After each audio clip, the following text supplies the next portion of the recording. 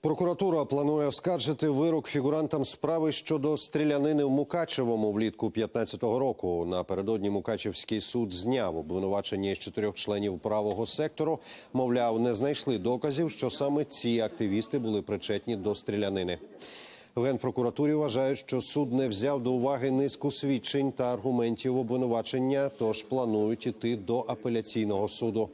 Нагадаю, збройний конфлікт між правим сектором та охороною одного з народних депутатів стався 11 липня 2015 року в Мукачевому. Тоді загинули двоє людей, десятеро дістали поранення.